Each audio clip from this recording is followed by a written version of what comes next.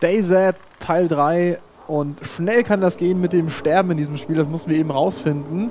Das ist ein neuer Charakter, wir sind irgendwo auf der Karte aufgewacht und es sieht aber so aus, als wären wir, wie es der Zufall will, in genau derselben Scheune, in der wir eben auch diese epische Schießerei uns geliefert haben. Ja, es scheint so, als wären wir genau da wieder reingesprungen. Aber es ist ein anderer Server, ein anderer Charakter, also wir eigentlich alles neu, aber da ist ein Kanister. Wir haben keine Beine mehr. Ja, warte mal, wir haben einen Winchester. Ach, ich weiß, was, was passiert ist. Man muss dazu folgendes sagen, wir hatten eben gerade auf einem anderen Server versucht, wieder zu starten. Ja. Ach klar, die, die Spielfiguren werden ja gespeichert. Wir sind in, dem, in der Nähe von dem Ort wieder rausgekommen und ähm, sind dann zu der, dieser Scheune wieder hingerannt, weil wir unser Glück nochmal versuchen wollten, beziehungsweise aus Fehlern nicht lernen. ähm, kann man nehmen, wie man will.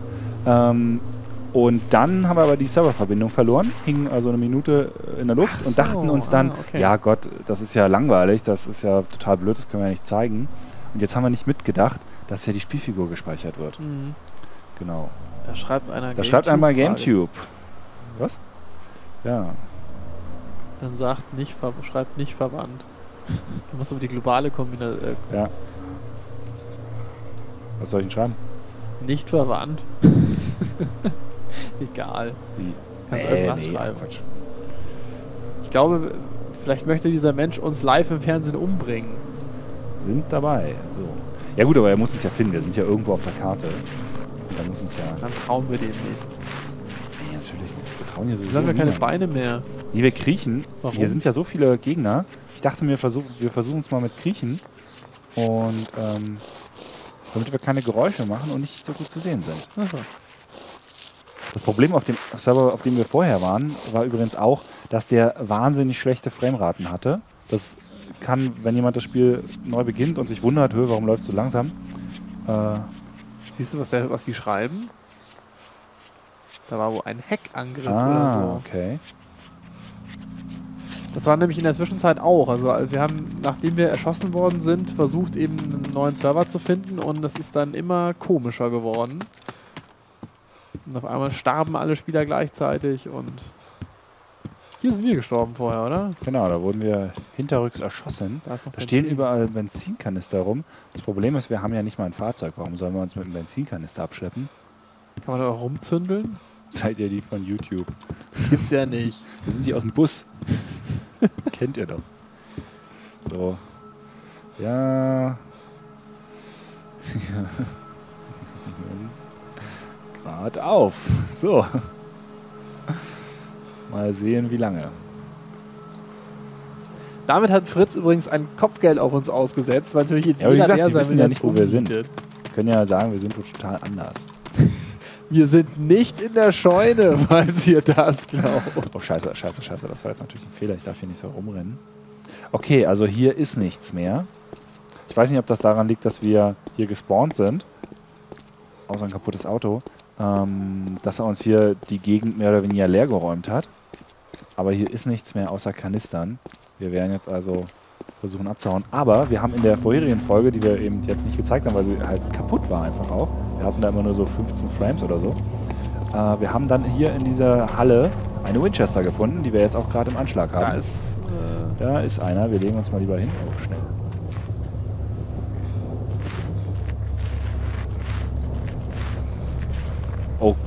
Das ist natürlich. Das ist bitter. Oh ja, das ist natürlich. Also, das ist ja nicht das erste Mal. Also, diese Mod hat ja ein bisschen Probleme mit Leuten, die da Schindluder mittreiben. Also, da gab es ja auch irgendwie schon die, die Geschichten, dass da Leute, die die Server dieses Spiels für Botnetze verwendet haben und ja. da, Quatsch mitgemacht haben.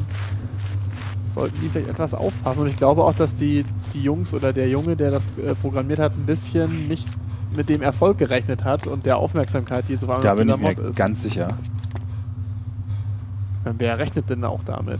Wenn er eine Zombie-Mod für, einen, für einen Shooter macht oder für ein Militärdings macht, das ist ja jetzt nun nicht das Außergewöhnlichste. So, wir sind hier mal raus aus dem ganzen Ding. Also da ist alles voll.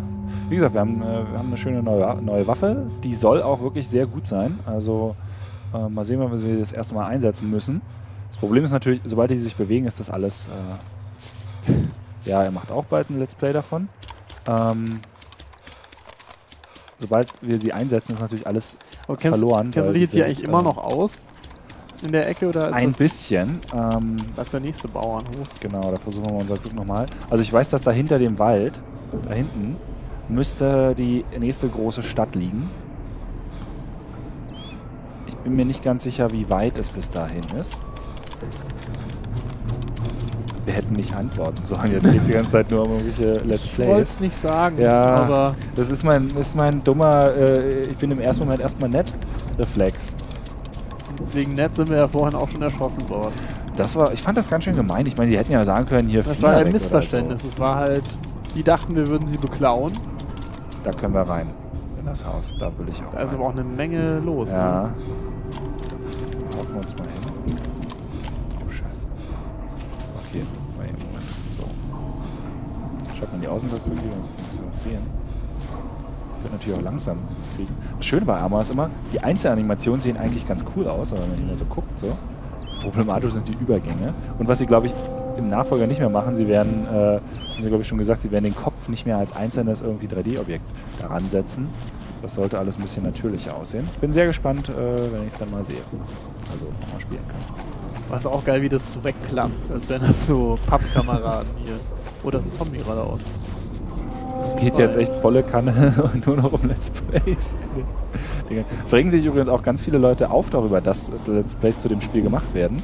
Weil- Denn ähm, angeblich würden die Let's Player, damit irgendwie ein bisschen was passiert, sehr so, ja, äh, ich sag's mal extrem, so Call of Duty-Verhalten an den Tag legen.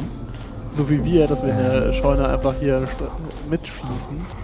Ja, und nicht Es diese, so diesen Überlebenskampf äh, in den Fokus äh, stellen, also das, das, das Rollenspielartige, Mhm. sondern eher so dieses Gegeneinander fighten, damit was passiert und jetzt knallen wir mal den ab, um zu zeigen, wie toll wir sind und so. Aber das ist ja schon Das geil, Rumliegen ist schon echt dann, geil, oder? Dann checken die das nicht, dass Ja. du da bist. Das ist ja abgefahren. Ich weiß nicht, wie weit diese Funktion hält, also es kann natürlich sein, dass das na, schnell nachlässt. So, schauen können wir wir mal. hoch, oder? Ja, da können wir hoch. Liegt da in der Ecke noch Liegt da was? was? Nee. das sind bloß Grafikobjekte, die da reinploppen. Treppenabsatz oben wäre natürlich gut zu verteidigen, ja. Da kann man nicht hoch, oder was? Doch. Eigentlich schon. Na, warte mal. ja, Danke, mit, der, mit der. Animation für über was rübersteigen klappt's dann, aber hier ist nichts drin. Vielleicht ist hinten im, im Lagerraum noch was drin. Ich Das ja ist echt- übrigens, äh, das macht kein Geräusch für die Zombies. Wir sehen es rechts. Für uns ist das laut hörbar, Mhm. das, äh, dieser Metallunterboden. Für die Zombies nicht. Also für die gilt irgendwie ein bisschen ein anderes System. Ja, das wäre schon geil, wenn das in Arma 3 funktionieren würde, äh, wo du in alle Gebäude oder fast alle Gebäude rein kannst. Hier ist leider nichts. Ich weiß auch nicht, ich werde ja die Entwickler demnächst mal besuchen ähm, und sicherlich auch darüber ein bisschen sprechen, wie denn so der Support ja. für die ganze Geschichte läuft. Und äh, ob sie es vielleicht standardmäßig einbauen, das wäre natürlich ein super Verkaufsargument, wenn sie das zum, genau, Ja. wenn sie das zu einem richtig, ja, Spiel mit ein bisschen Fleisch ausbauen. ja, der war ja scheinbar schon Obwohl- auf der E3 und hat da am Bohemia-Stand Genau, er war schon da und hat, äh, genau, und hat äh, drüber gesprochen. Da hat er ja auch seine Pläne ein bisschen ähm, verraten. Okay, also hier war leider gar nichts. Das ist, äh, nee, Moment, wir legen uns hin. Ah, mal. Das ist. No News is good news. Also wir sind nicht erschossen worden. Ja. Warum ist die Musik auf einmal so laut? War das ein Fehler, dass wir hier eben ganz, ganz kurz aufgestanden sind? Wurden wir gesehen? Nee. Nee. Nee. Ist mit dem Fahrzeug da, das ist auch nur Attrappe, oder? Das ist nur Trappe. Wir haben, glaube ich, noch kein Fahrzeug, oder hinten hüpft einer. Ja, ja. Wir haben noch kein Fahrzeug gesehen, was man, glaube ich, wieder reparieren könnte. Ach, die sind dann wirklich äh, extra gekennzeichnet. Also diese Ich total glaube schon. ausgebrannten Also, Dinger kann man eh nicht mehr reparieren. Nee, da, da gibt es dann, glaube ich, ein Interface für, obwohl ich nicht ganz sicher bin. Irgendwie geht es dann, dass man G drückt, also äh, das Inventar aufmacht. Mhm. Oh, da sind zwei. Rechts. Da Wo? zwischen den Bäumen. Links, da zwischen den Bäumen, wenn du geradeaus durchguckst. Ach, da hinten. Ja. Okay, gut. Das sollten wir schaffen. Ich bin mir nicht sicher, ob, oh, da hinten sind noch welche, ob man diese Fahrzeuge wieder hinkriegen würde, aber ich glaube nicht, dass das die Art von Fahrzeug ist, die man operieren kann. Man könnte fast sagen, ein wirtschaftlicher Totalschaden, aber ich bin auch kein Sachgutachter. Ich habe letztens mal einen äh, Bericht gelesen von jemandem, der mal dabei war, wo ein Hubschrauber tatsächlich repariert wurde.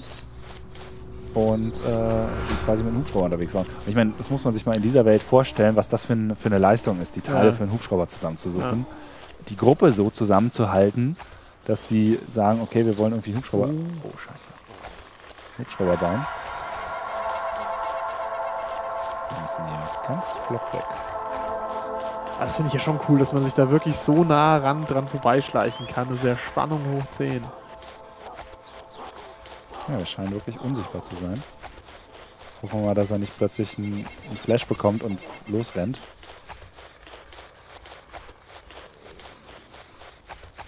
Oh Gott. Das ist ja auch Ja, von permanent- Zombie-Universum zu Zombie-Universum verschieden. Also in manchen, Wie die Zombies so reagieren. ja, in manchen äh, haben die dann eben übertrieben gute Geruchs- und Gehörsinne, also fast sehr tierartiges. Man könnte eben wirklich wie, wie Tiere auch den, den Geruch oder das, das Blut wit wittern.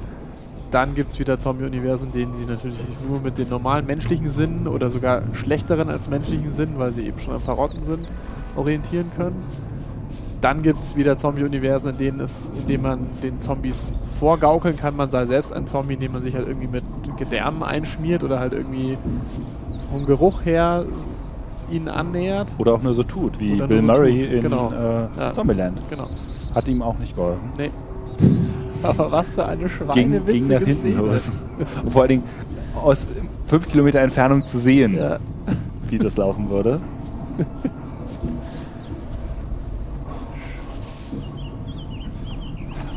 Was auch sehr schön zu sehen ist bei dieser ganzen Geschichte ist, wie multilingual das ganze Ja. Spiel ist. Ne? Also, Ja, dass, dass, dass das aber auch natürlich eine Herausforderung ist. mhm. Ich meine, klar, man könnte ja jetzt auch sagen, ja, das ist jetzt hier irgendwie so ein Gebiet und gibt halt ein paar, keine Ahnung, er war vielleicht jetzt hier Tourist, der in der Gegend war und Ja. äh, überlebt hat. Es gibt ja auch keine Hintergrundgeschichte, was da passiert Das finde ich ja beim Zombie-Film oder Zombie-Universum noch immer blöd, wenn das verraten wird. Deswegen mag ich ja das Walking Dead so sehr, zumindest die Comics, weil da nicht klar ist, warum das alles so ist. Und man sich das eben selbst überlegen kann Ich weiß nicht, kann. irgendwann kriege ich schon immer gern noch eine Erklärung. So, jetzt haben wir hier mal die, die Siedlung hinter uns gelassen, sind ein bisschen auf offenem Gelände, können jetzt auch mal ein bisschen rennen. Und wir haben schon wieder wahnsinniges Fieber. Deshalb sollten wir unsere Figur mal kurz ausruhen lassen und eine kurze Pause machen, oder? Würde ich auch sagen. machen wir einfach im nächsten Teil weiter. Genau. Bis zur nächsten Folge. Ciao. Tschüss.